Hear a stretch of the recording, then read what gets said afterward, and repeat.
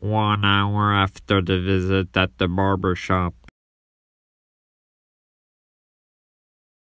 I have arms now.